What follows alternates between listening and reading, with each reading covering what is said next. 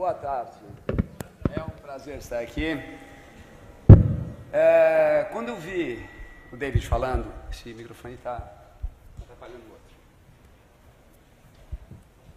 Quando eu vi o David falando, eu fiquei assustado. Falar depois dele ia ser punk. Agora, eu fiquei em pânico mesmo a hora que a máquina que ia falar fritou. Então vai ser na raça, sem vaselina e no gogó. E claro que isso aqui é praga da Microsoft, né? Por sorte. É, porque não roda. Como é que é? é? Aquele flash de pobre, né? Que eles fazem lá e que você pode fazer um monte de workshop, mas ele continua não funcionando. É, então vai ser que ser na raça. E como é que é? Como diz o Faustão, quem sabe faz ao vivo. Pode ser que ao longo deste período a máquina resolva funcionar. Daí vai ser ótimo, porque tem um outro videozinho que eu tenho que mostrar para vocês. De qualquer maneira, uma das coisas mais chatas do mundo que existe é aquele cara que fica lendo aquilo que ele mostra na tela. E o cara que lê aquilo que ele mostra na tela, basicamente, está pedindo para você olhar para a bunda dele. E eu acho isso extremamente desagradável uh, e por isso eu não o faria. Bom, é, já que eu não vou poder contar mesmo com o iPad, então me resta uma coisa. Regra número zero, não com. Como é que é? Ah, boa, ah, claro, temos Fábio Akita aqui. Ah, não! Oh, só porque eu falei que você não podia confiar neles. Vamos ver, calma. Perderam a chance, hein? Ia ser ao vivo. Só nos alunos da ECA que já estão acostumados a ver eu improvisar ao vivo assim. E eles não gostam tanto. Espera aí. Segura isso aqui. Vamos ver. Parece que vai funcionar. Tudo te indica. Se eu fizer play. Diz para mim se você aqui você tem um vídeo aí. Você tem um vídeo aí. Então agora também. Então agora eu deixo isso aqui escondido aqui embaixo. É, aí você dá uma de bacana. Não que eu preciso disso. Ah, na verdade foi realmente só para quebrar minhas duas pernas, como se eu precisasse depois da palestra do David. Passei, eu estava lá atrás, morrendo de rir como todos vocês, pensando, lembrando de entrar no site da Azul quando terminasse o evento. E passando no caminho daqui, eu vi um monte de gente com um computador ligado no site da Azul. Falei, uau, por que, que eu não tenho uma coisa para vender, né? Adoraria ter uma coisa para vender, porque o cara realmente se deu muito bem. Bom, eu vou falar de inovação. Uh, e para falar de inovação, é por isso que eu trouxe um iPad, né? não para, sei lá, falar eu tenho, vocês não têm, porque daqui a 15 minutos vai ser ridículo. Né? Cada instante, cada, cada vez mais pessoas têm iPad. Uma coisa que eu posso dizer que eu tenho, vocês não têm, eu tenho um cabo iPad para VGA. E eu tenho um iPad que, bicha, não funciona quando você precisa dele. Né? É, fora isso, lembrem-se vocês, aqueles de vocês que fazem a apresentação aqui, venham a ter um iPad um dia de comprar o cabo iPad para VGA. Senão o cara vai falar assim: Nossa, Luli, você toca do seu iPad, eu não toco do meu iPad. Assim, 30 dólares. Uh, inovação está diretamente ligado a isso, é exatamente por isso que eu começo o meu tema falando do iPad em si. Uh, Steve Jobs é um cara que de vez em quando ele dá uma Steve Jobada em você, né? Ele chega lá, remove tudo aquilo que você usava no computador e te convence que aquilo é lindo.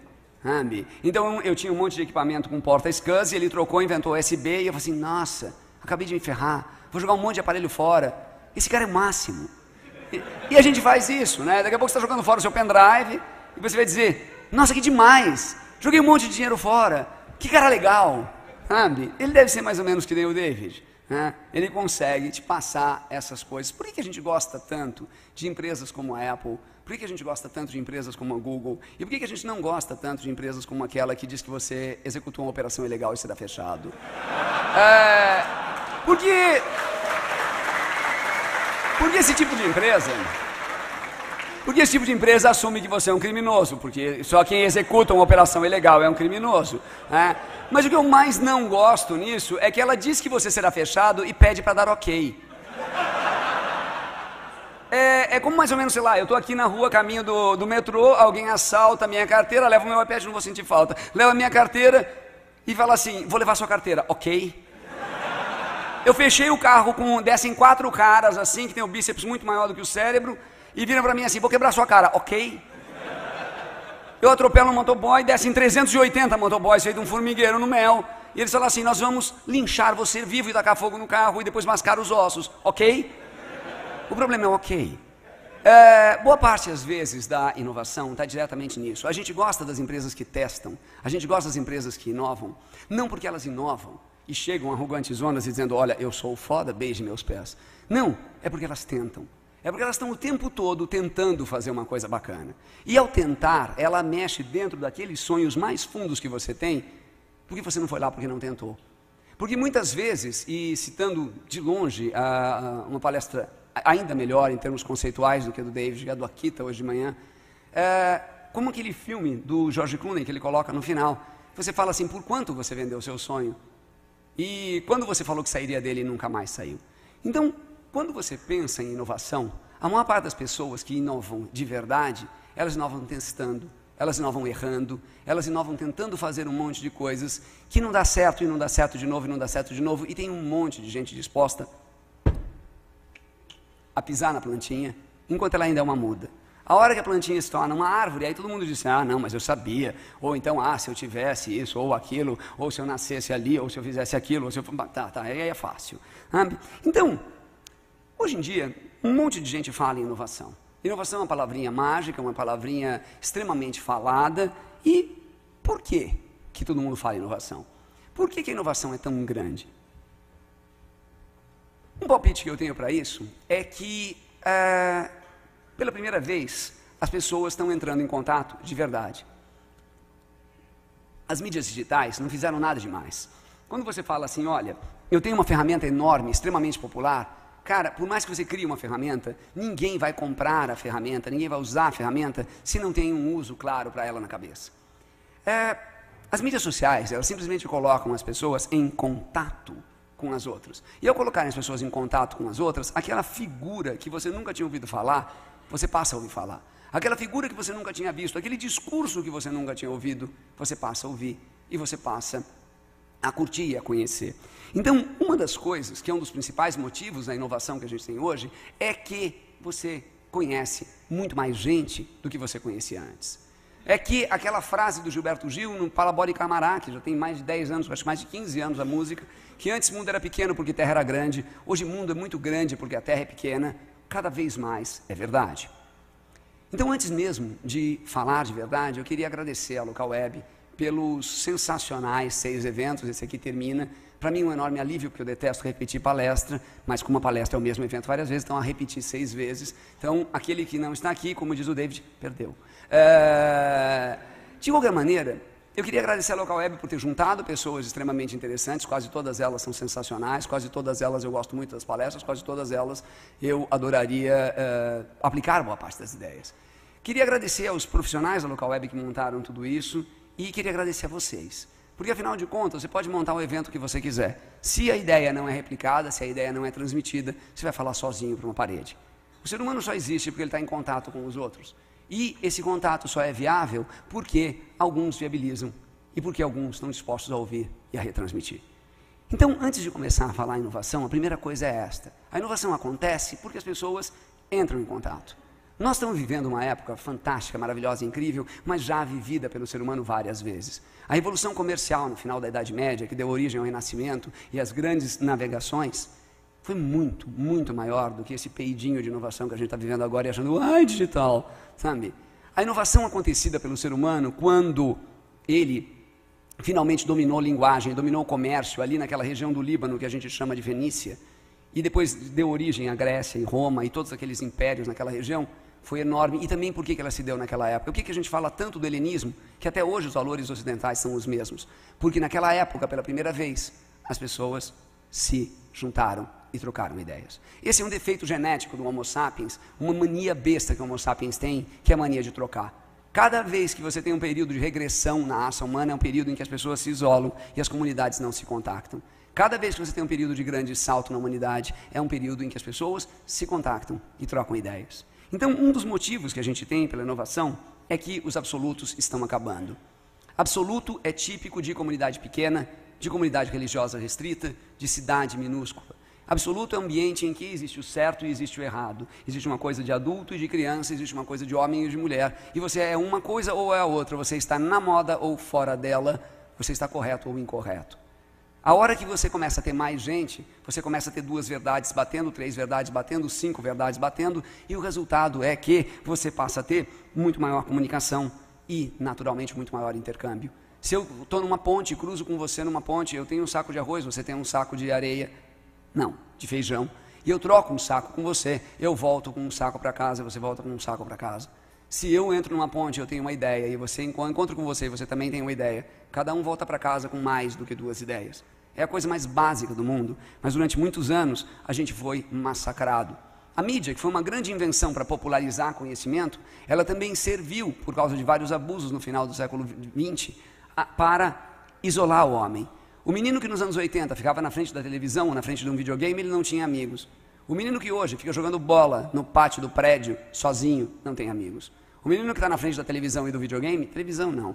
O menino que está na frente do computador ou do videogame, ele tem um milhão de amigos, ou muito mais do que isso. Globalização, que é você tratar o ser humano com a mesma mensagem, seja aqui na Tailândia, tudo é ser humano, tudo é homo sapiens, é uma enorme mentira e finalmente foi por água abaixo. Massificação é você tratar o ser humano feito gado, em que você tem homem ou mulher, classe A ou B, 25 a 35 anos, como a mídia até hoje define na televisão, no rádio, nas revistas. É, a própria urbanização, em que você vai parar num prédio que tem um monte de gente vivendo lá, e você não faz a menor ideia dos nomes das pessoas que vivem lá. Então, quer dizer, um prédio não é uma vila na vertical. Um prédio é um monte de desconhecidos isolados virando as costas um para o outro. Até num avião, se você não voa azul. Você está lá, sentado no meio, com um ser humano de cada lado, e o seu contato com eles é zero. A primeira coisa que você faz é enfiar um fone de ouvido, uma máscara, e falar, não quero comer nada. Eu, pelo menos, faço isso. E eu sou pequeno. É... O ser humano é um animal social. O ser humano é um animal social, e em sendo um animal social, ele precisa se socializar com os outros. Boa parte dos movimentos, como o punk no final dos anos 80, no final dos anos 70, é clássico disso. Era uma enorme revolta do ser humano porque ele está trancado, está sozinho. Se você tranca o indivíduo sozinho num canto, ele fica isolado ali dentro e ele fica naturalmente histérico. Tanto que a maior punição que você tem dentro de uma cadeia é a solitária, que é exatamente aquele ambiente em que você não vai ver luz do sol e não vai se comunicar absolutamente com ninguém. Então, quando você pensa que tudo isso foram próteses que enfiaram dentro da sua vida durante os anos 80, durante os anos 50, 60, 70, 80 e começo dos 90, você percebe que boa parte da inovação hoje em dia é remover essas próteses. A gente ainda não precisa inventar nada novo, é só desinventar um monte de coisa velha que colocaram no meio do nosso caminho. Hoje em dia, você tem muito mais novidade chegando por aí.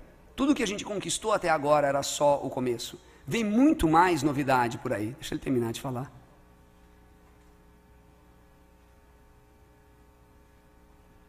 Oi, desligou, desculpe. É, vem muito mais. Como eu dizia para vocês, a necessidade de comunicação é absolutamente fundamental. Né? Nós precisamos falar o tempo todo uns com os outros.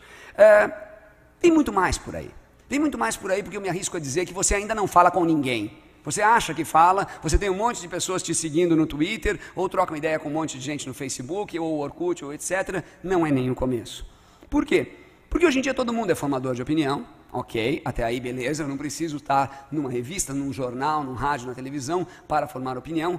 E eu posso formar opinião simplesmente fazendo um vídeo no YouTube, cantando numa, numa e é, e beleza, e eu viro um formador de opinião. Nem que seja opinião para dizer, nossa, que gordo tosco. Uh, a gente ainda é dependente da mídia.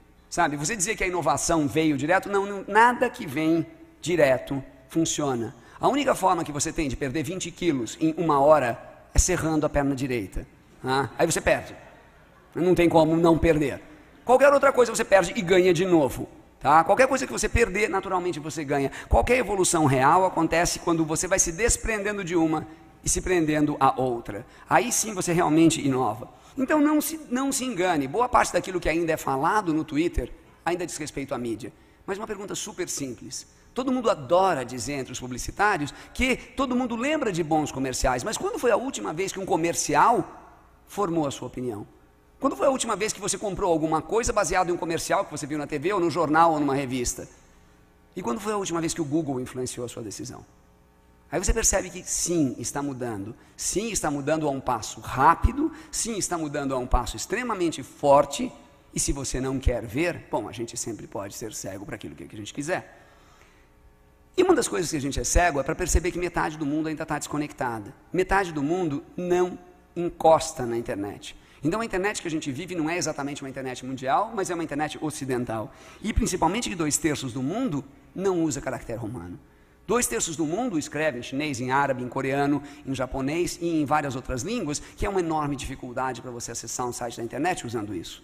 Veja, todo mundo já viu aqueles teclados que estão lá, o teclado QWERTY bonitinho que você usa com alguns caracteres esquisitos em outras línguas, tipo japonês. Pois eu no Japão vi o contrário. Vi um teclado kanji que tinha umas letrinhas espalhadas em caracteres ocidentais no meio dele e óbvio que não tinha acento. Para conseguir mandar um e-mail para casa com dois parágrafos, sem acento. Eu levei mais de meia hora. Por quê? Porque o teclado era um negócio desse tamanho, com um monte de ideogramas, e espalhado no meio deles tinha um A, aí tinha um J, aí tinha um N. Era uma dificuldade encontrar aquele treco. Na Turquia, I com pingo e I sem pingo são duas letras completamente diferentes. E onde você acha que tem o J no teclado, no teclado turco tem o I com pingo. E você fala, mas que. Hum, pois. Isso, queridos, é utopia. Isso, na verdade, é utopia mesmo. É utopia.org.gr, mas prestem atenção no domínio. Ele está escrito em grego. Por que ele está escrito em grego? Que veja, mesmo o grego que deu origem a todos os nossos alfabetos, ainda não fala a língua. Nós nos acostumamos a escrever estadal.com.br. Nós acostumamos a escrever um monte de coisas sem cedilha, sem acento, sem nada, porque tudo bem, porque era mais ou menos parecido. Mas grego não é parecido, russo não é parecido, húngaro tem, tre, tem trema no R. Eu não faço ideia de que som isso tem, sabe? Alemão tem aquele betazinho que eu não faço aqui, quer dizer SS, não quer dizer B. Medo. Pois é. Ou seja, a hora que o árabe conseguir escrever em árabe, ele vai conseguir realmente acessar a internet. Porque ele vai conseguir blogar em árabe. Porque ele vai conseguir usar um teclado escrito em árabe. E o coreano vai poder fazer o mesmo sem precisar aprender inglês. Porque eles falam inglês ainda pior do que a gente fala inglês. Então, o que acontece na verdade é que nunca teve um contato mundial de verdade. O que a gente teve até agora foi um contato de sociedades que falam Hollywood. Que entendem televisão, que entendem rádio, que entendem cinema, que entendem mais ou menos como a gente pensa. E se hoje você viaja o mundo por este mundo, você vai perceber que do lado de dentro de uma sala de reuniões você não sabe em que país você está. Eu tive em Riad, na Arábia Saudita, um dos países mais fechados do mundo, e do lado de dentro de uma sala de reuniões não fazia nenhuma diferença. Eu poderia estar em Salvador ou em São Paulo ou em qualquer outro lugar. Eu tive no Líbano, em Beirute, e do lado de dentro de uma sala de reuniões era igualzinho a uma sala de reuniões em Tóquio, que era igualzinho a uma sala de reuniões no Itaim Paulista. Absolutamente igual, igual. Então, na verdade, o que acontece? O que acontece é que ainda tem muita gente boa, com muitas ideias de verdade, que ainda nem começou. Tem muita gente nova que precisa entrar em contato. E a gente não enxerga isso, por quê? Porque isso é complicado, isso é difícil, e a gente está cercado de desinformação e mito. Pega três desses mitos, esses três aí são três mitos que eu adoro falar a respeito, porque eles são mitos que a gente assume e não pensa. Por exemplo, que a internet surgiu de uma ameaça da Guerra Fria, porque podia cair um míssil soviético no computador central americano, e esse míssil soviético no computador central americano deixaria os americanos completamente tontos, feito formigas num formigueiro pisado. Queridos, o pior nome possível para um provedor de acesso à internet é a jato. Porque a jato você vai daqui ao Rio em uma hora. A jato você vai daqui a Nova York em nove horas. A Londres em 12 horas e para o Japão em um dia. Então, se eu vou mandar um e-mail a jato para você, você pode almoçar que quando você voltar do almoço ele ainda não chegou. É um nome horroroso. Mas pensem na época da Guerra Fria, se um russo resolve mandar um míssil para acertar os Estados Unidos, o computador central, o que, que ele vai fazer? Vai abrir um silo de míssil lá na Sibéria e vai sair um míssil. Um só. Ah, não, porque eu confio no meu taco. Não, mas sair tipo uns 100 mísseis da Sibéria e ninguém vai ver. E daí ele vai vir por onde? Por cima da Europa. Aí ninguém viu. 100 mísseis. Imagina o barulho e a, claridade que faz. É o cometa Halley raspando na Terra. Não, não, não. São só 100 mísseis russos indo dar uma, uma paulada nos Estados Unidos e eu, ninguém viu. Aí atravessa o Atlântico e ninguém viu. Daí é claro, onde é que está o computador central dos Ah, não, então vai pelo Pacífico. Beleza! O Pacífico é metade do planeta Terra. E ninguém viu. Aí vai pelo norte, passa pelo Canadá inteirinho. Bom, que lá é uma geleira, mas mesmo assim ninguém viu. Derrete metade da calota polar, nenhum urso polar late. Bom, eles não latem. Então, qual é a ideia? Pera, pera, que ainda vai piorar. Onde está o computador central dos Estados Unidos? Numa ilha offshore? No litoral da Califórnia? Sabe? Na cobertura de uma montanha com um alvo pintado em cima, escrito clique aqui. É uma das ideias mais idiotas do mundo. A segunda ideia mais idiota do mundo é aquela que aconteceu, o grande primeiro de abril que aconteceu em 31 de dezembro, chamado de bug do milênio. Você imaginava que o ano 2000 ia ser a era de aquário, que você colocaria flores no cabelo e iria para São Francisco. Você pode até hoje colocar flores no cabelo e ir para São Francisco, isso não é problema meu. Ah, talvez você tenha algum problema para explicar isso para sua namorada, mas isso é uma outra história. Ah, o que eu quero dizer é o seguinte: quando chegou a virada do século, as pessoas. Bug do milênio. O mundo vai acabar. Por quê? Porque, porque os programadores toscos de COBOL esqueceram, colocaram um dígito em duas datas ah, não, a sua conta de telefone vai ser de um bilhão de dólares. E daí, isso é problema meu? Eu ligo a conta do telefone e falo: escuta, nem que eu usasse todos os minutos do mundo, eu conseguiria gastar isso aqui. O problema é seu, resolve. Ah, o avião vai cair. Por quê? Silo de míssil vai abrir. Por quê? E bem ou mal, se o avião vai cair, o que, que você faz? Você faz que nem a Europa fez quando estourou o vulcão. Segura o avião na terra. Além do mais, se é 31 de dezembro de 1999 e você está dentro de um avião, é porque você quer virar personagem de Lost. E depois de seis anos, acabar com todo mundo olhando, falando, nossa, que bosta, perdi tempo. Sabe? Veja, a própria ideia do Vale do Silício, o estouro da bolha.com, foi uma das coisas mais legais que aconteceu na internet. Graças ao estouro da bolha, graças à bolha, um monte de gente esticou cabo pelo mundo inteiro, porque achava que ia ter lucro enfiando o cabo daqui até Mumbai, na Índia. Ele não teve lucro nenhum, quebrou, faliu. E você consegue usar Skype assim, porque alguém caminhou furiosamente o mundo. Nenhum governo teria dinheiro como teve dinheiro na bolha da internet, porque um monte de gente movida por um sonho moveu aquilo ali. Ou melhor ainda, é o Vale do Silício. O Vale do Silício, olha, bom, primeiro o estouro da bolha. Falei da bolha, esqueci de falar do estouro da bolha. O estouro da bolha aconteceu porque as pessoas perceberam que estavam gastando demais com a internet e resolveram parar. Você está aqui num shopping. Quando na sua vida, dentro de um shopping, você percebeu que você está gastando dinheiro demais e resolveu parar? Nunca! Isso não é humano. Você só percebeu que parou, que gastou demais, quando o seu cartão de crédito fala: não, não, não, nem ferrando. A partir daqui o senhor não vai. Ora, foi a mesma coisa, o bug do milênio acabou com a grana de todo mundo, aí, claro, os caras pararam de gastar em site que fazia delivery de cocô de cachorro pela internet. Ora, outra das coisas lindas é o Vale do Silício. O Vale do Silício, silício é o terceiro componente mais comum no planeta Terra. Sabe? Silício é areia. Se silício fosse importante, a Líbia exportaria microchips não terroristas. Sabe? A Namíbia seria importante pela areia que tem em cima, não pelos diamantes que tem embaixo. Não faz o menor sentido o silício. O Vale do Silício, na verdade, juntou duas formas de pensar diferentes. E é por isso que é tão importante. De um lado, você tinha uma turma de comunicações e de artes cheias de perguntas, cheias de ideias novas e diferentes. E de um lado, você tinha uma turma de engenharia cheia de respostas, cheias dispostas a realizar coisas. Quando você conecta as duas, você tem um mundo enorme de inovação. Então, o Vale do Silício é uma prova que existe já há 20 anos, que a hora que você coloca as pessoas para se contactarem, elas geram coisas novas. E elas geram coisas novas muito boas. O problema é que cada coisa nova que aparece, os caras ficam morrendo de medo. Sabe, para quem é que serve a Twitter? É, é, é, que saudade da minha Olivete, não vou usar um computador nunca na vida. Sabe? O problema é o seguinte, por que, que as pessoas se sentem assim? Por que você se sente desconfortável? Quando a escravidão estava para acabar, ai meu Deus, a economia do mundo vai quebrar sem escravos. Quando começaram a surgir os carros, ai meu Deus, a economia do mundo vai quebrar sem cavalos. Sabe? Imagina que lindo como seria São Paulo com um trânsito cheio de bosta de cavalo. Ia ser uma delícia. Sabe? A questão é que ninguém, como eu disse para vocês, a gente adora pisar na mudinha de uma ideia nova. Por quê? Porque você é covarde. Porque você não está disposto a ter uma ideia nova e você não está afim de bater palmas para o cara que foi muito mais corajoso que você. Então ninguém leva a sério a nova tecnologia, a gente varre ela para debaixo do tapete. Até o momento em que o tapete se torna maior do que a casa e se torna impossível ignorá-las. Por isso, o que é importante para começar a entender inovação? Bom, é entender o benefício.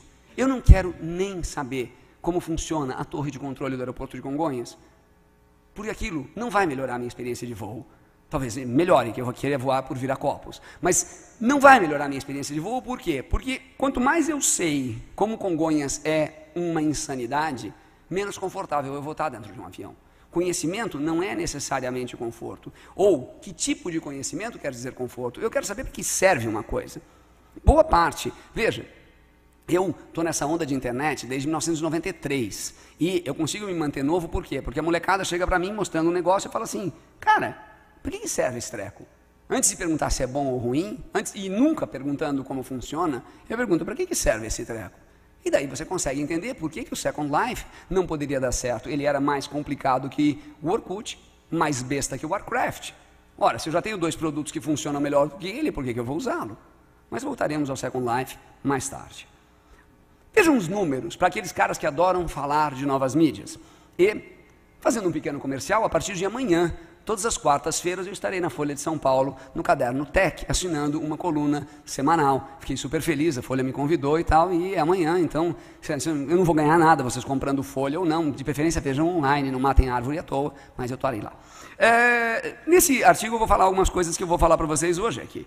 A primeira delas é essa aqui, ó. Tem 1 bilhão e 750 milhões online. É um mundaréu de gente, tá? É praticamente um quarto da população do planeta que já está online. Olha a quantidade de gente com celular. Olha a quantidade de gente que simplesmente vai fazer o que fez com o telefone celular, vai fazer com o computador aquilo que fez com o telefone, que vai parar de passar de não tenho telefone para tenho telefone celular, vai passar de não tenho computador direto para tenho um computador movido a rádio, que wireless, né, wireless, Bluetooth, Wi-Fi, essas coisas é rádio, né? tem um computador movido a rádio. Ora, a diferença de um para outro significa que o cara não vai ter que aprender Office, ainda mais for mobile. Ah, Silver, bom, é, então, é, continuando nessa história, o Flickr que ninguém levou a sério, todo mundo adorou chutar na bunda assim, né? Ah, não, o Flickr não presta para nada, tem 4 bilhões de fotos, metade da população do planeta. O Flickr sobe a uma cidade de São Paulo a cada dois dias.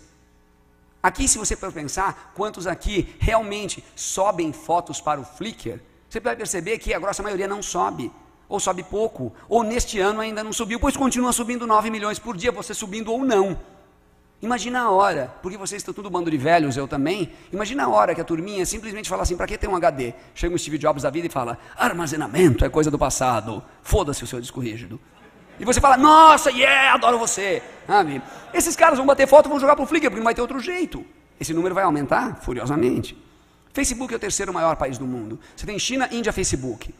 Facebook tem 50 milhões de pessoas a mais do que os Estados Unidos. Aí você vai dizer assim: ah, não, mas os Estados Unidos é, tem muita conta inútil, tem muita conta é, inativa no Facebook. E não tem nenhum cérebro inativo nos Estados Unidos. Né?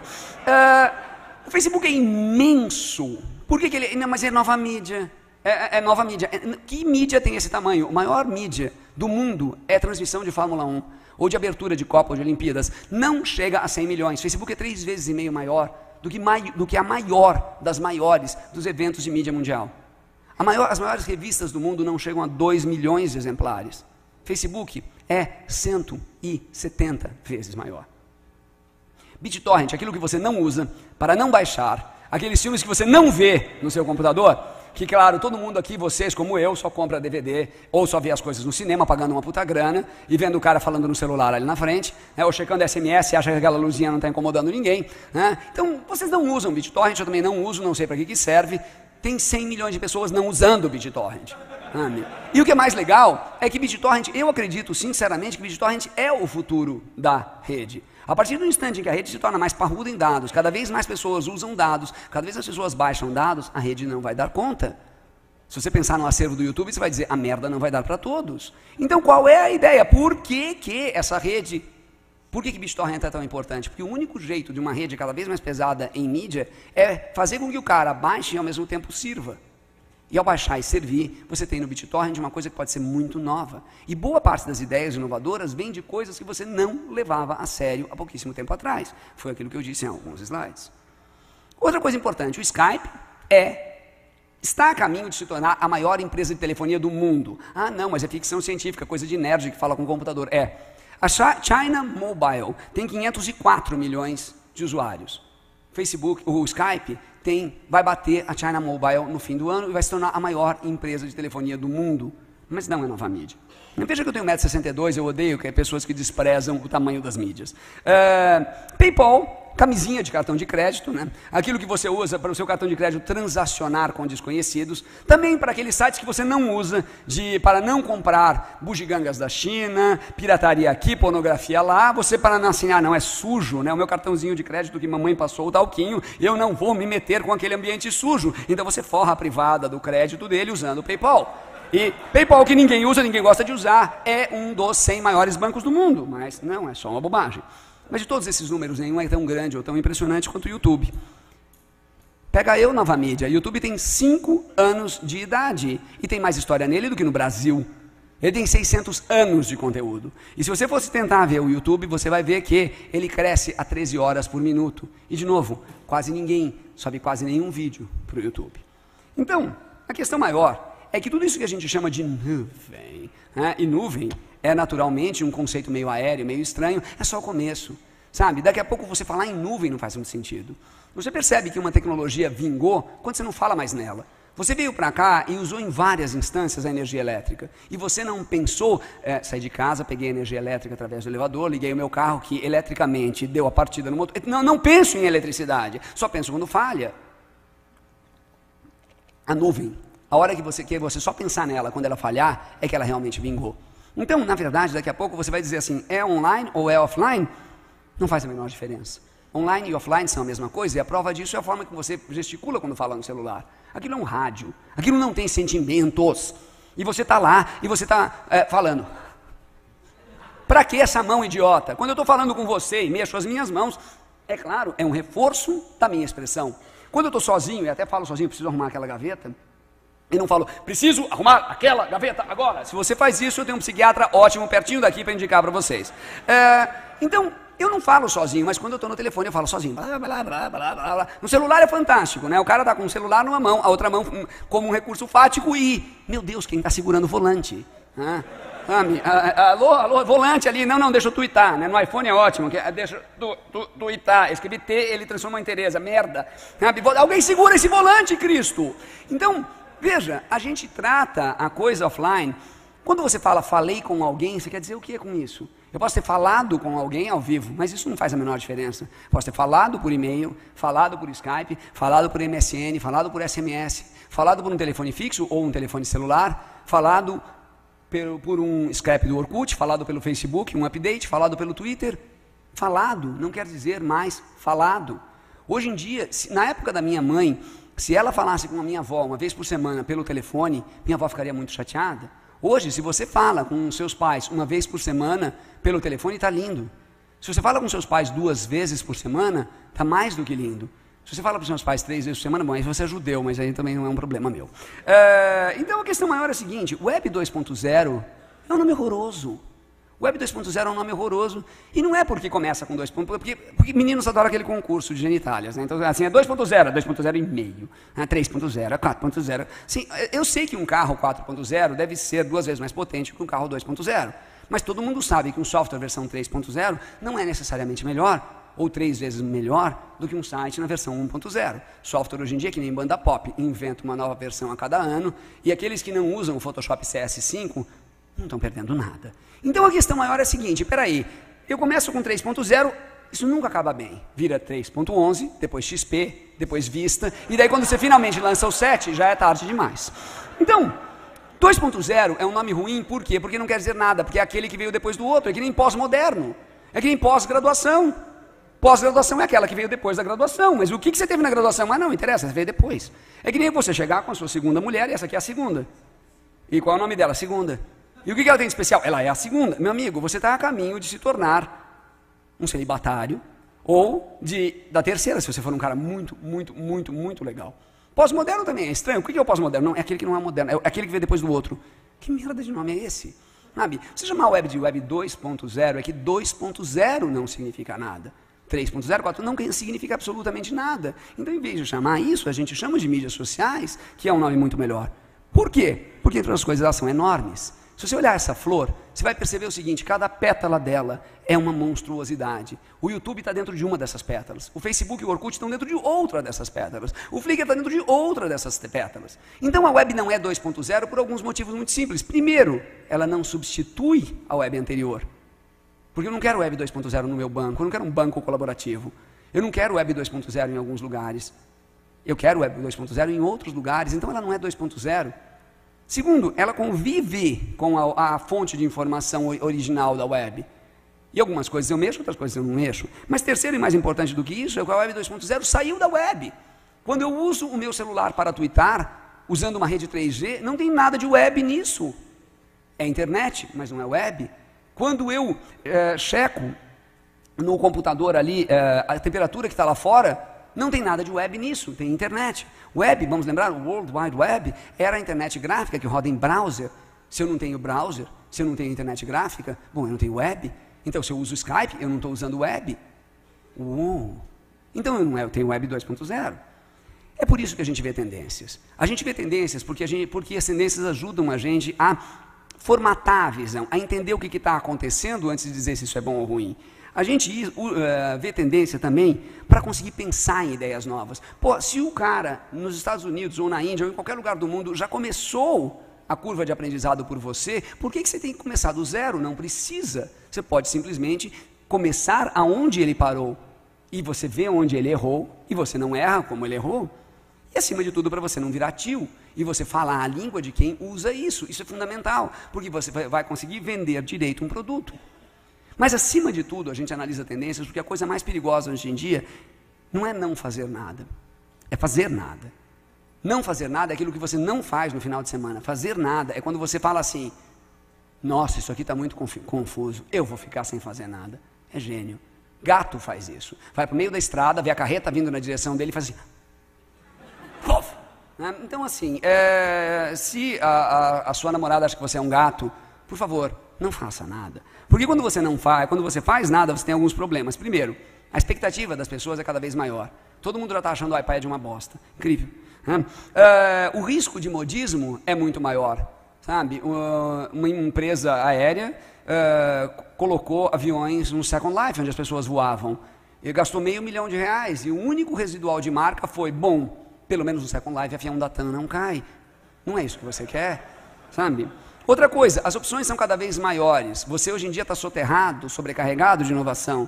As métricas são extremamente variadas. Hoje em dia tem várias empresas de métricas, elas medem praticamente quase todas as coisas. Mas, de novo, se eu não sei porquê, o que, como eu quero medir, não adianta nada alguém medir. Sabe? Não adianta nada alguém medir que a quantidade de cabelos média das pessoas que falam com você é tanta. Para quê? Eu não vendo shampoo, sabe? Então, as métricas são extremamente variadas, o mundo da internet está ficando cada vez mais sofisticado. E quanto menos você faz, mais tosco você se torna.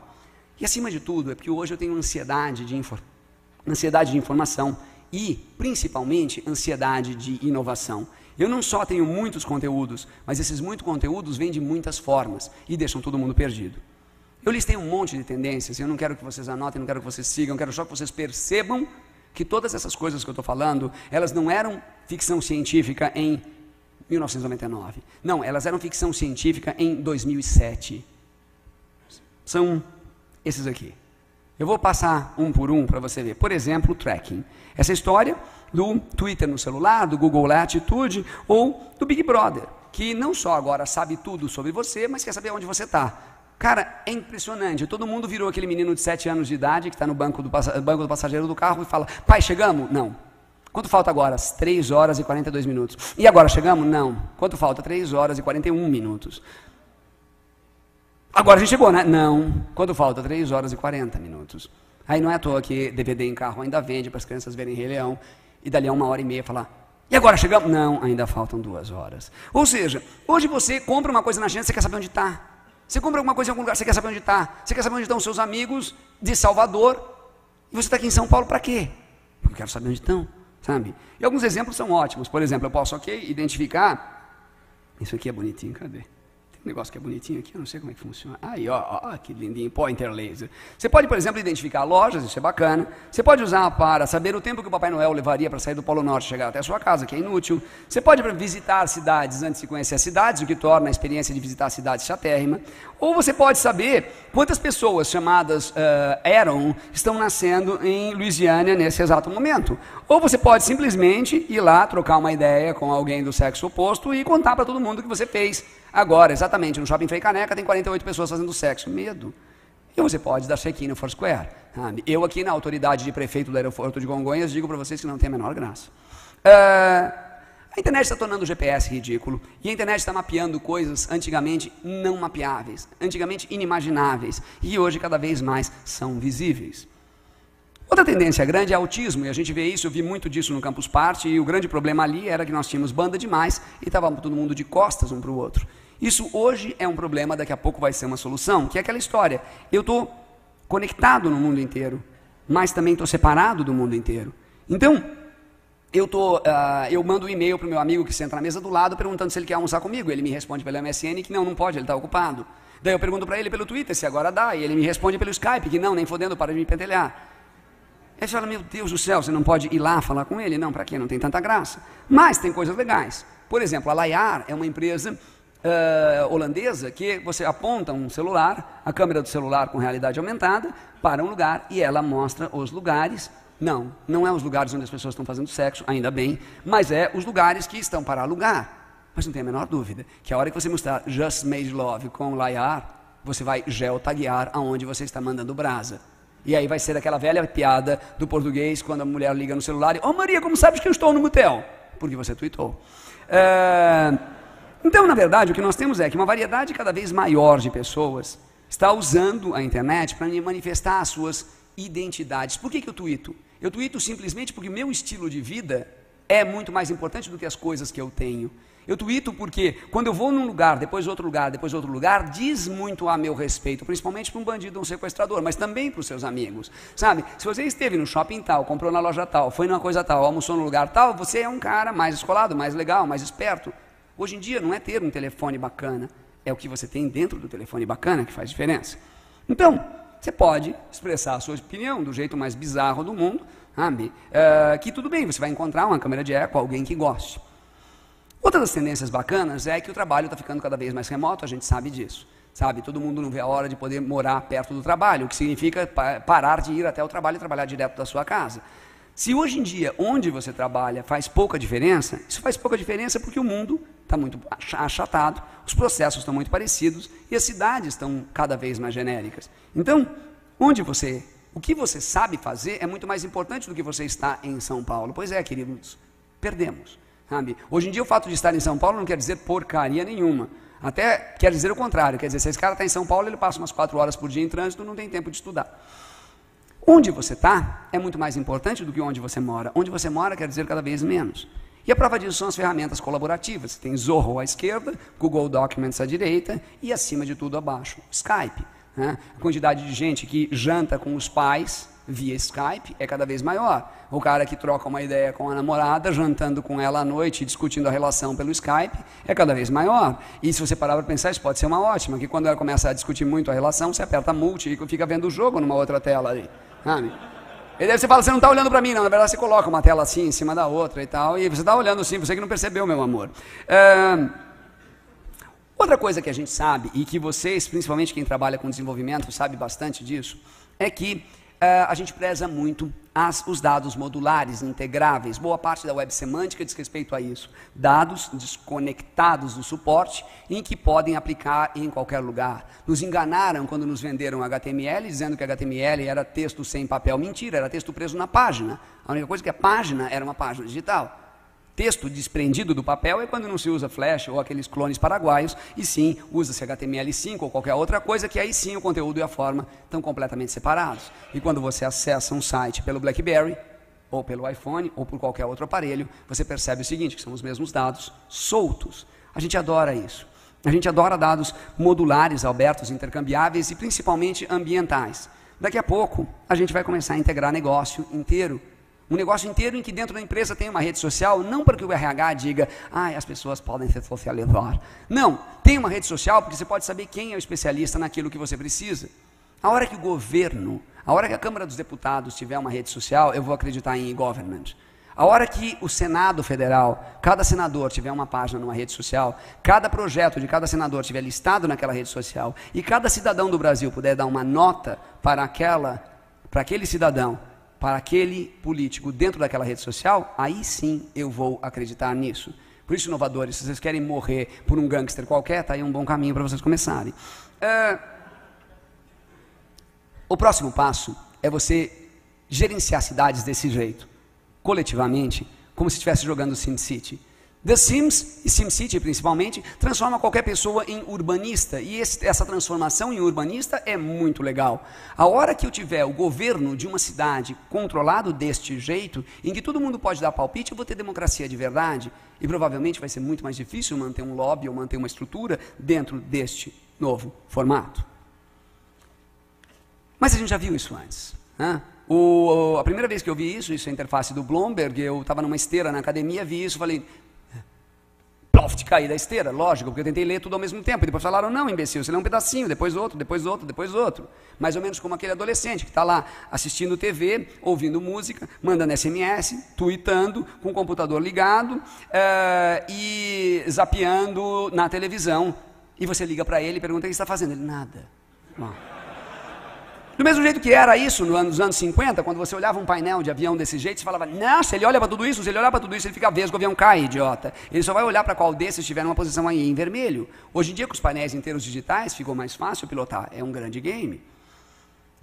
Outro ponto importante está nos ambientes. O, a ideia que a gente tinha, que o Second Life, Second Life é um exemplo clássico de bolha. Por quê? Porque não é uma ideia ruim, é um produto ruim. A prova que ele é um produto ruim, não uma ideia ruim, é que nós temos metaversos cada vez maior, porque metaverso não é fuga, é meritocracia. Vamos imaginar que você tem uma vida besta no mundo real. Você tem uma profissão besta que te dá um salário besta, que você faz execuções besta, você tem um chefe besta, e seu dia a dia é besta. Tanto que você chega em casa e pergunta como é que foi seu dia, besta. Ah, aí você, para descansar, você vai viver uma vida besta no Warcraft. E você vai ser ferreiro. Você fala, meu, parece aquele GIF, né, de, de, de, site em construção. Que merda é essa? Quer dizer, você leva uma vida besta e você quer uma vida ainda mais besta no mundo digital? Sim. E por quê? Porque é uma meritocracia. Porque meritocracia é uma coisa maravilhosa que rege qualquer sociedade, mas que a gente nunca levou a sério. Meritocracia é um horizonte que você pretende chegar, mas a gente sabe que ela não existe. Cada um de nós nasceu numa época errada, injusta, numa cidade errada, injusta, numa condição social errada, injusta num tamanho ou peso errado injusto. Então, o metaverso é completamente meritocrático. Eu entro lá e eu posso levar uma vida besta, mas sei que lá eu vou progredir pelo, pela força do meu próprio trabalho. E é por isso que a gente vê que o Second Life é uma ideia ruim, mas o Sport, que é praticamente a mesma ideia, é um enorme sucesso. Ou se você não gosta do esporte, você tem Rabo Hotel, The Sims, qualquer aplicativo na Disney, em especial o Clube Penguin, ou, naturalmente, Warcraft. Então, quando você vê isso, você percebe o seguinte, que essas coisas são imensas e que elas só tendem a crescer. Isto é o estudo de uma consultoria inglesa que pegou e analisou uh, o número de contas cumulativas e, uh, de pessoas em metaversos. Se você pensar, são pessoas que têm mais do que uma conta, têm duas ou mais contas em metaversos. E você vai ver que tem alguns dados específicos. Primeiro que vai crescendo ali até os 29, até os 16, 17 anos de idade, depois estabiliza e dali para até o fim da vida é uma longa decadência, mas não entremos nesse assunto. O que importa aqui é que dois números são muito bacanas. Primeiro este, dos 8 para os 9 anos de idade, o salto é enorme. E por quê? Porque é o momento em que você realmente aprende a usar bem a língua. E a linguagem, a capacidade de pensar simbolicamente, é aquilo que separa o Homo sapiens de qualquer outra espécie no planeta. Então, nós, o vírus que corrompe o planeta, é deste jeito porque ele tem a capacidade de observar símbolos, de pensar símbolos e de usar a linguagem. E você aprende de verdade a usar isso entre os 8 e os 9. E também é gigantesco aqui, a hora que você, dos 13 para os 14 anos, que é quando você descobre o outro. É a hora que você descobre que meninas servem para alguma coisa a não chorar e, e, e cheirar estranho. Ah, e, e, daí as meninas que jogavam bola com você, você começa a olhar para elas de um jeito diferente. E elas não acham isso nem um pouco legal. Não estou falando isso por experiência própria, puramente teórico esta última conotação. O que eu quero dizer é que existem mundos virtuais de praticamente qualquer estilo, qualquer coisa. Eu tenho para falar de TV, tenho para falar de esportes, tenho para falar de, de música, tenho para falar de qualquer coisa. Ou seja, isso aí nós estamos falando é mundos virtuais. Você vai lá e constrói o seu a sua própria persona. Não são redes sociais, feito LinkedIn, Orkut, etc., porque essas são muito maiores. E também, o que é interessante é você perceber a distribuição etária, que mais ou menos ali, aos oito anos de idade, cadê? O tralha funciona. Aqui. Aê. Mais ou menos ali, aos oito anos de idade, de novo, quando você domina a linguagem, começa a ter várias redes sociais e elas vão mais ou menos até os 20 anos de idade. Cara, todo mundo adora dizer, todo mundo adora. Eu acho que qualquer desgraça é hilária se você coloca no pretérito perfeito. Nossa, tava na merda. Não tinha um puto nem para almoçar. Não sabia como ia pagar o aluguel. Qualquer desgraça é ótima no pretérito perfeito. Por isso que você acha que o tempo da sua infância, ai que lindo a infância. Cara, na infância você só quer uma coisa, crescer. Sabe? Ah, que bonito o primeiro beijo. O primeiro beijo é uma pior experiência do planeta. Você está suando em bicas, o outro lado também. Você não sabe se gosta como faz, etc. Às vezes ela está todo torto, amarrotado tudo. Você quer esquecer essa experiência rapidamente. Mas passada, ela é tão linda olhando para trás. Então, quando você olha isso aqui, você percebe o seguinte: o cara que deu o primeiro beijo pela internet vai continuar ali. O cara que arranjou os amigos dele por ali vai continuar ali. E é por isso que o menino que joga Warcraft não gosta de ir para Fernando de Noronha com os pais, porque o custo é muito alto. É o equivalente do custo social de um adultério. Você está ali, bem casado com a sua mulher, aparece aquela outra mulher linda, você pula a cerca e você perdeu a sua mulher e não ficou com a outra. Você fala, hum, que bela bosta. É, é, mais ou menos a mesma situação do menino que é um as no Warcraft, está um, tá um, num ponto muito alto ali e a turma dele depende dele para fazer as novas quests. E daí os pais chamam para ele ir para Fernando de Noronha passar duas semanas, vendo golfinho, areia e tudo quanto é tipo de peixe que ele pode tranquilamente ver pelo Flickr. Só e ele vai e é sensacional. Quando ele volta, os amigos dele se viraram sem ele e ele simplesmente se tornou um párea social. E daí eu me pergunto, se você tivesse hoje 8, 9, 10 anos de idade, você pagaria o preço de perder todos os seus amigos para ir passar duas, duas semanas em Fernando de Noronha? Eu não pagaria. Outra coisa importante, que também cresce furiosamente e que também a gente não liga porque a gente acha que é uma bobagem, que é uma coisa de criança, é o mundo dos games. O mundo dos games é tão imenso, o mundo dos games é tão poderoso, tão gigantesco, que eles reinventam até dinheiro. Farmville é maconha transgênica, né? É o tipo da coisa que o cara foi lá, eu olhei Farmville, olhei o que, que era, falei, nossa, mas não chego nem perto sabe? É um mecanismo de compensação muito rápido, muito curto, que demanda você voltar ali. Falei, nossa, o cara vicia em um dia, medo. E daí você recebe às vezes pelo Facebook assim, fulano de tal que não tem vida social, chegou no do, do centésimo sexo, é, do centésimo quinquagésimo quarto nível do Farmville. Você fala assim, nossa, cara, o cara está ali fumando crack na calçada, né? É mais ou menos a mesma coisa. E aí você percebe que na China, por exemplo, existem usinas de Warcraft Gold. Você paga uma grana para os caras, os caras sobem nível no Warcraft para você. E você paga fisicamente dólares para ele, via PayPal, naturalmente, e os caras sobem níveis de Warcraft para você. E você fala assim, uau, que medo. Pois é, e essas coisas são cada vez maiores. Né? Mafia Wars, Farmville, Warcraft e aquele jogo da Microsoft, como todas as coisas da Microsoft, é super bonito no papel e no protótipo. É, pirataria, como games, é aquele negócio que você não leva a sério porque você é bobo. Porque pirataria é sensacional. Na China, existe uma prática chamada Shanzai, que eles consideram pirataria uma forma de aprendizado. E pense como você aprende. Você aprende copiando. Você aprende a cozinhar copiando receitas. Você aprende a codificar copiando código. Você aprende a layoutar copiando layout. Você aprende a fotografar copiando fotografia. O Flickr sozinho fez mais pela qualidade das fotografias da humanidade que qualquer curso de fotografia possa ter imaginado. Você aprende copiando, você aprende a dançar copiando passos. Você aprende a tocar qualquer instrumento copiando músicas. A China considera o aprendizado uma, uh, a cópia é uma espécie de aprendizado. E eles não ligam muito para a pirataria, até porque não é o mercado deles que está se ferrando. E Shanzai, eu uh, quando estive em Xangai, e Shanzai não tem nada a ver com Xangai, Shanzai é uma prática, Xangai é uma cidade. Uh, quando eu estive em Xangai, conversando com umas pessoas de design de interação, eu falei, nossa, né, aqui os caras clonam o iPhone. Falei, bela porcaria. Falei, como assim? Eu entendo que clonar uma roupa é fácil, você só precisa do tecido de uma costureira, você clonou uma camisa. É, então, roupas chinesas e tal, eu entendo, mas o iPhone você precisa de uma fábrica. Pela porcaria. Falei, cara, o que, que clonam aqui que te surpreende? Um Toyota Corolla. Como? Um Toyota Corolla. Eu falei, mas como assim um Toyota Corolla? É igualzinho ao Toyota Corolla, só que é genérico. Que medo! E a Toyota faz alguma coisa? E alguém consegue fazer alguma coisa com a China? Não, tá lá o Toyota Corolla genérico. Eu falei, mas, mas, mas, mas, mas, mas, mas, mas, mas assim, depois de 57 mais, o cara fala, calma, calma, calma, Luli, toma aqui um pouquinho de chá verde, deixa eu te explicar direito essa história. Veja, pensa um raciocínio, você pode pagar 30 mil dólares por um Corolla zero, usá-lo por 5 anos e vendê-lo por 25 mil dólares. Ou você pode pagar 5 mil dólares por um, por um, um Toyota Corolla clonado, usá-lo por 5 anos e jogá-lo fora. E os caras são tão cretinos que ainda dão para a mulher o clone. Né? O cara compra uma Mercedes D para ele e dá o, Corolla para a mulher. O Torolla deve ser. É, o que importa é que este Toyota Corolla cria dentro da China uma cadeia de aprendizado que leva a carros recicláveis ou a carros descartáveis. que é uma forma de pensar carros que a indústria americana, que a indústria francesa, que a indústria alemã, que a indústria inglesa, que são as maiores indústrias de carros do mundo, não pensam a respeito. Todo mundo pensa em um carro como um bem que dura para sempre. Não existe muita diferença entre um Fiat 500 que você fala hoje e um Ford modelo T que você fazia um tempão atrás. Os dois são considerados patrimônio. O chinês não considera mais o carro como patrimônio, é uma baita inovação surgida da pirataria. E na China a gente vê coisas divertidas, como por exemplo, eu gosto muito desses aqui, né? Então a gente tem aqui o KFG.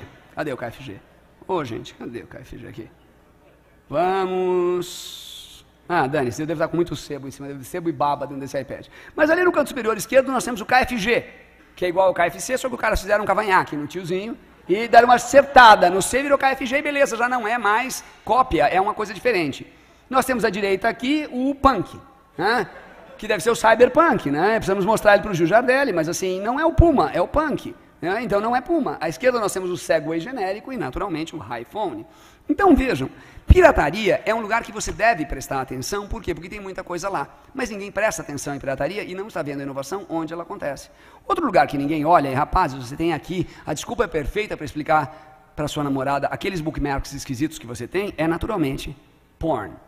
Todo mundo já dizia, há muito tempo já existe um ditado que diz que the internet is for porn. E a gente sabe disso. A gente sabe que a quantidade de pornografia na internet é monstruosa e gigantesca. E ela hoje está mais forte do que nunca. De fetiche a otaku, nós temos porn, porn, porn, tudo ante canto. Desde, por exemplo, Sex and the City e a fixação daquela mulher por sapatos, até Julie e Julia e a fixação daquela mulher por comida, que basicamente o Freud, o Freud diria que é uma espécie de sexualidade reprimida, até otaku, que, bom, esse é melhor nem falar, porque não cabe aqui, eu não quero aterrorizar os sonhos de vocês. Mas, para mostrar isso, eu tenho agora, peço licença para vocês para mostrar um vídeo, que é um vídeo assim, meio chatinho, tal, cheio de estatísticas, mas ele tem um fundamento legal. Eu vou comentando o vídeo daqui. Então, mostrar alguns números na internet, como eles, uh, de porn na internet, e por que, que eles devem prestar atenção. Então, preste atenção na qualidade dos gráficos.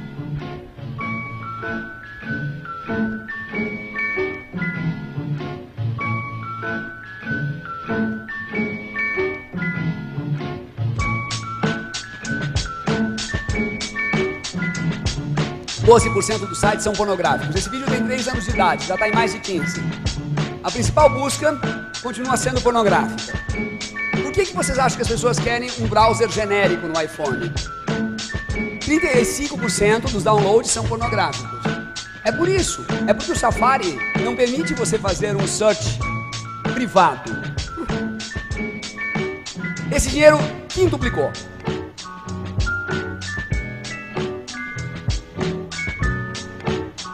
Tá bom, são só 266 novos sites que aparecem por dia.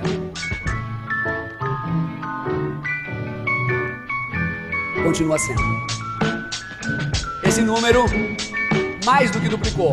Estados Unidos basicamente vive de duas coisas: arma e sexo. Ou seja, faça o amor, não faça a guerra e de qualquer jeito eu tô ganhando.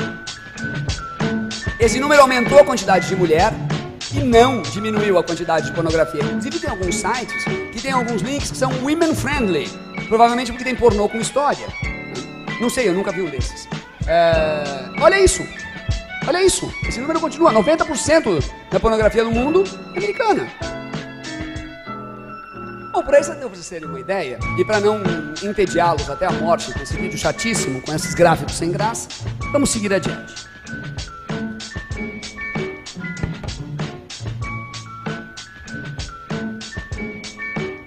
Esses números continuam. Chega. Ah, ah nunca vi pessoas gostam de ver histogramas, ah, gráficos de pizza.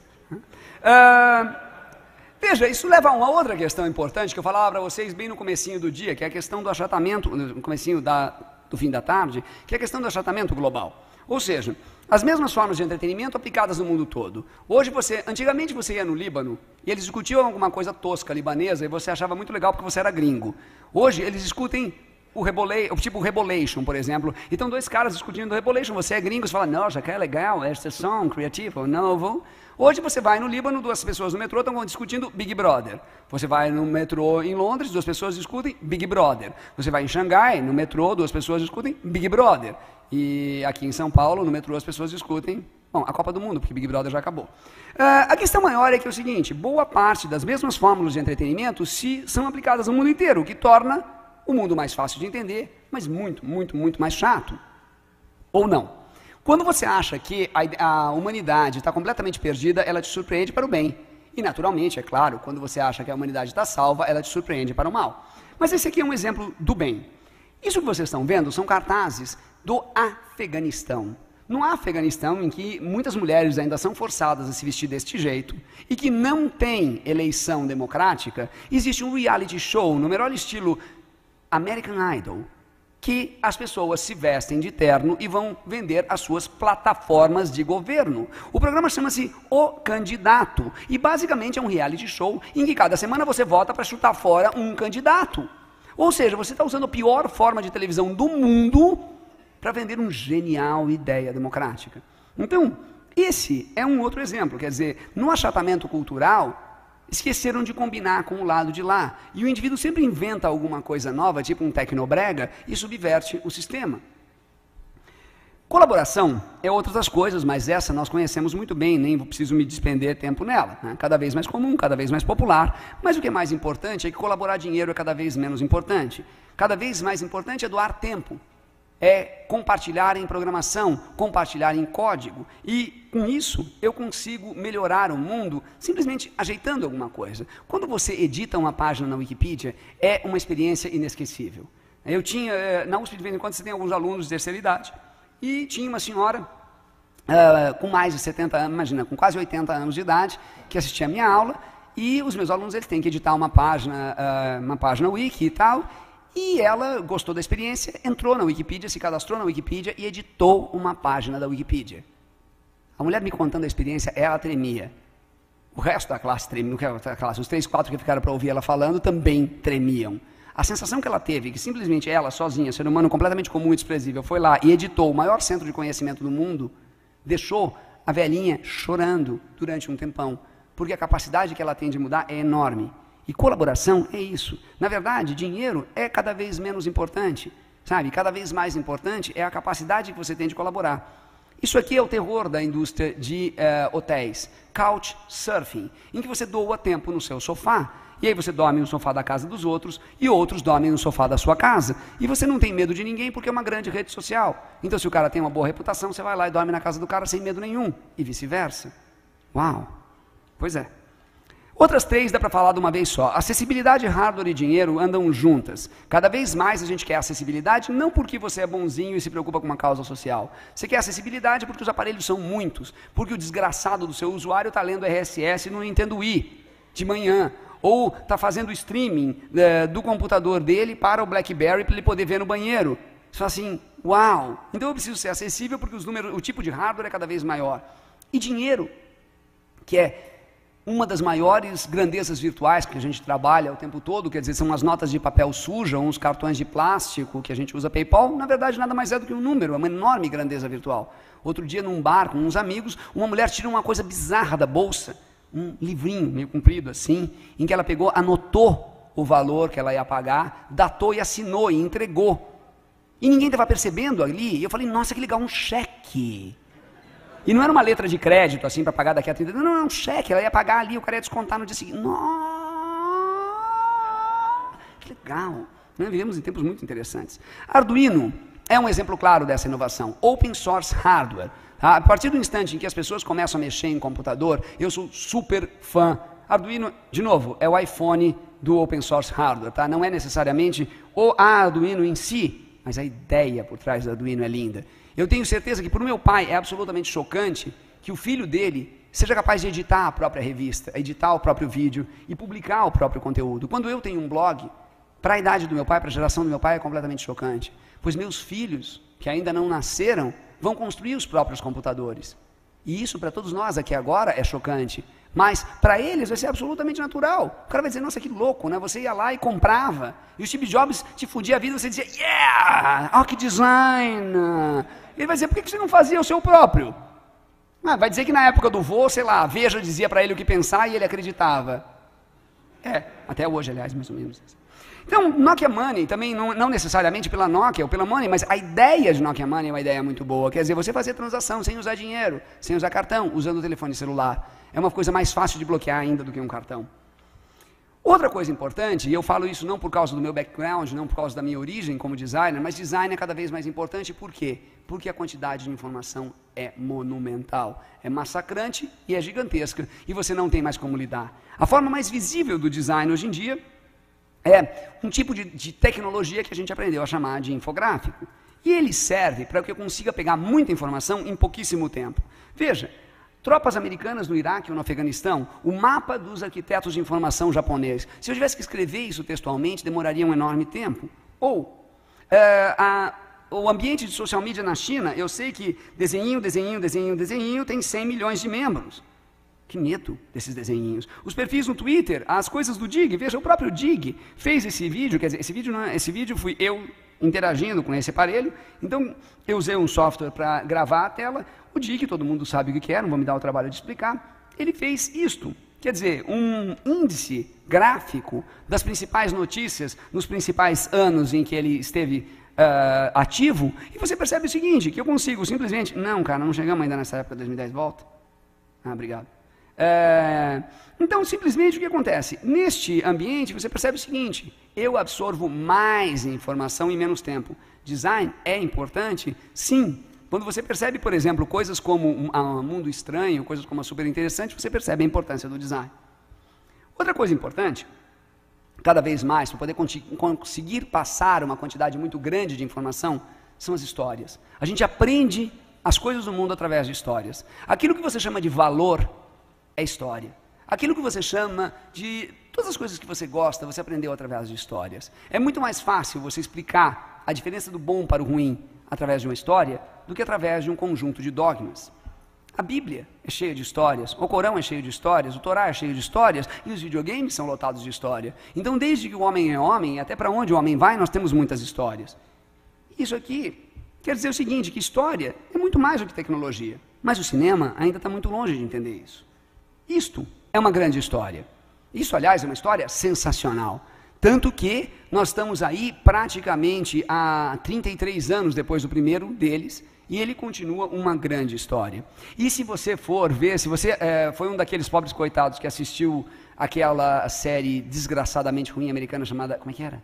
Lost. É, aquela série, você vai perceber que o personagem Sawyer é a cara desse tio aqui. O. Funciona, tralha. Esse tio aqui, não o Chewbacca. É, esse tio aqui.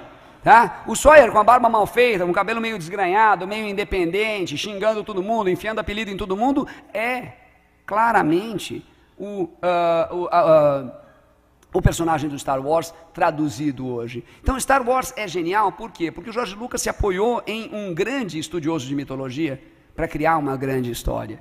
Coisa que esse tio aqui levou 17 anos para fazer um filme e não gastou 4 minutos para fazer a história, fez um Pocahontas anabolizado. Né? A diferença entre um filme pornô e Avatar é que filme pornô tem história. Né? Avatar chega aquele cara, Zé Mané, lá dando rabada em tudo quanto é canto no meio da floresta, aí ele entra lá e de repente ele aprende a lutar, voa em dragão, fica com a gostosa, defende o povo contra o mal e não aprende a falar a porra da língua, porque nativo naturalmente fala inglês. Pô, vai meio do inferno. Né? Twilight Zone, recomendo a todo mundo que veja. Tá? É uma série que aconteceu mais ou menos no final dos anos 50, aqui no Brasil chamou Além da Imaginação. É espetacular. São histórias geniais que, mesmo meio século depois, com todas as mudanças tecnológicas, você continua tendo enormes inovações.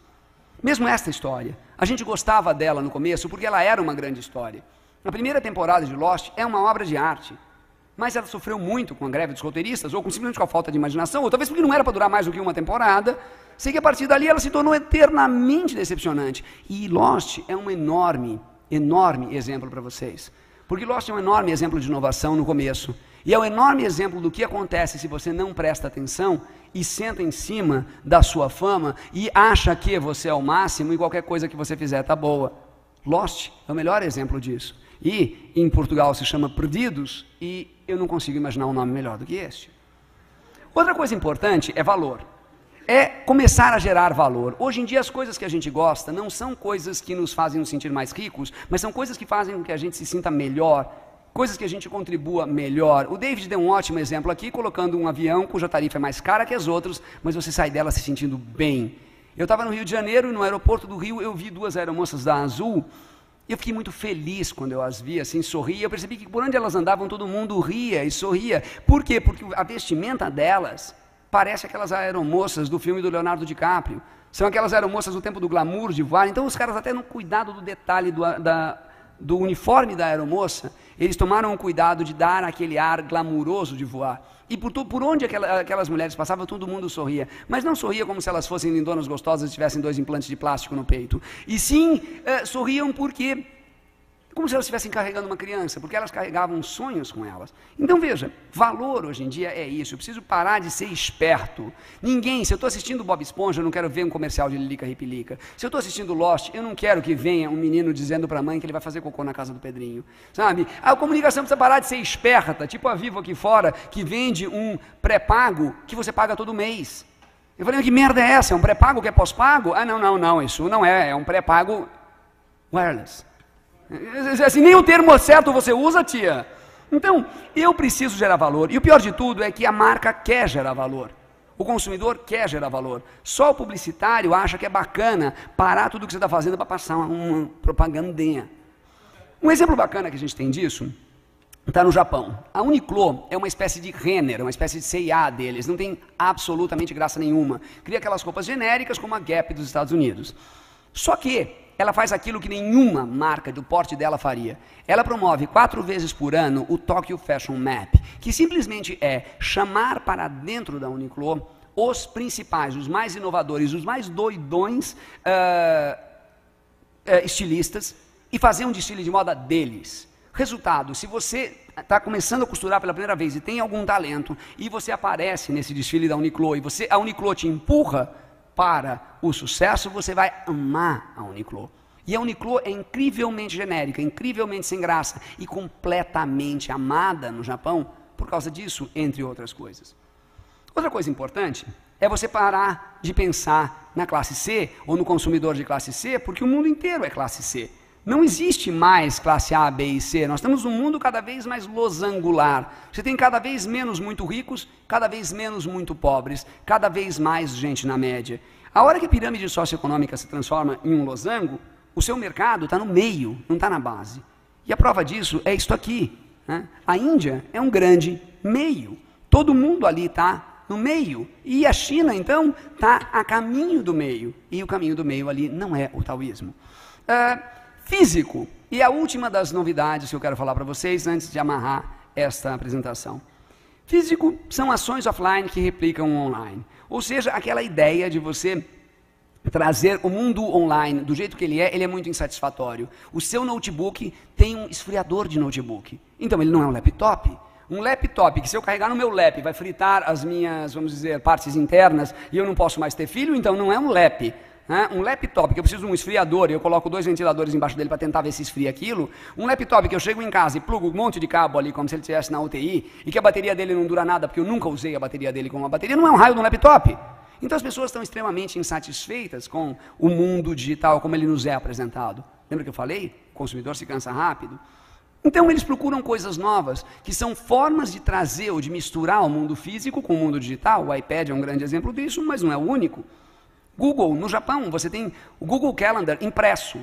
Por quê? Porque o japonês quer escrever ali. Porque eu não entendi direito, mas tem. E não é que ele imprime, ele compra no Google, o Google Calendar impresso. Na Alemanha é mais legal, bom, tipo coisa de alemão, né? Os caras imprimiram a Wikipedia. E não dá para ser mais alemão do que imprimir a Wikipedia em um volume.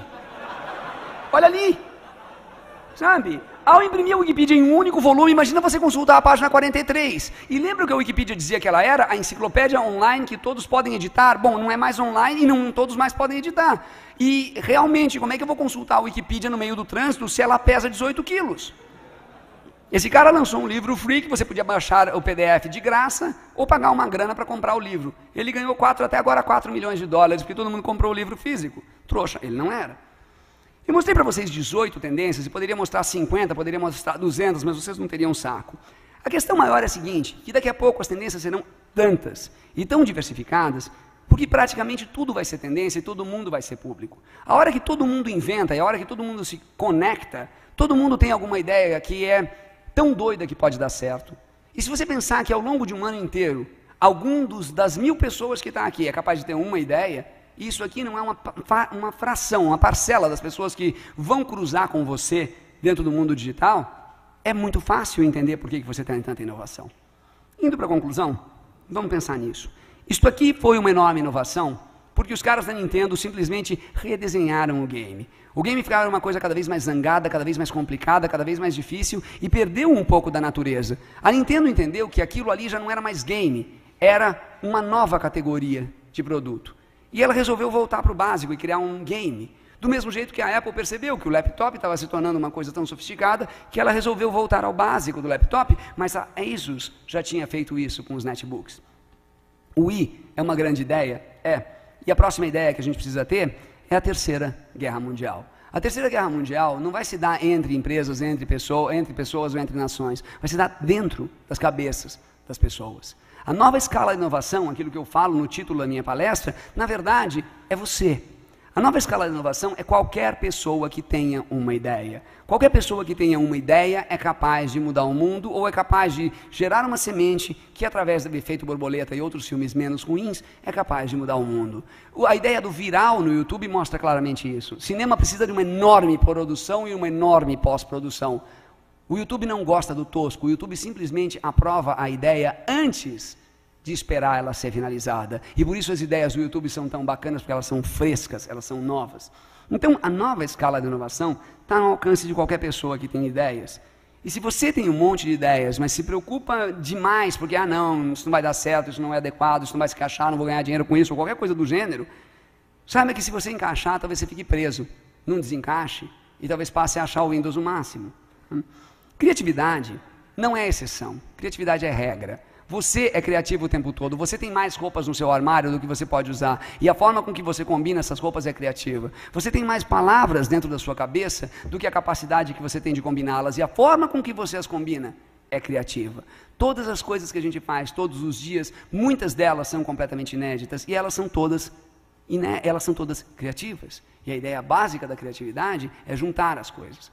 Quando você cozinha, você faz isso. Você inova por combinação. O bom cozinheiro do bom restaurante não tem a própria vaquinha da onde ele tira o bife, não tem o próprio leite da própria vaquinha, não, não cria os próprios alfaces. Pelo contrário, senão provavelmente a comida dele é ruim. Ele só inova porque ele combina. Esse cara aqui é pentacampeão de fazer isso. Ele não inventou o microcomputador, não inventou o MP3 player, não inventou o telefone, não inventou o tablet. E, bom, a Pixar ele inventou, mas não inventou o desenho animado, o tio Disney já tinha inventado antes. Ele cria coisas simplesmente redesenhando, olhando o que está torto e refazendo. Boa parte das coisas não funcionam, mas a gente perdoa porque a gente vê que ele tenta o tempo todo. Do mesmo jeito que o Google, que até hoje não conseguiu fazer uma to-do list decente. Criatividade, gente, é baseada em conhecimento. Todo mundo acredita que criança é mais criativa do que adulto e isso é uma enorme besteira. Criança é só menos cagona que adulto. Criança tem só menos medo de errar do que adulto. E por isso criança cria. Se você tem muito mais conhecimento, você tem muito mais variáveis possíveis que pode combinar. Você só tem medo de errar, coisa que ela não tem. Então hoje em dia, que todo mundo tem um iPod. Hoje em dia que daqui a pouco todo mundo vai ter um iPad.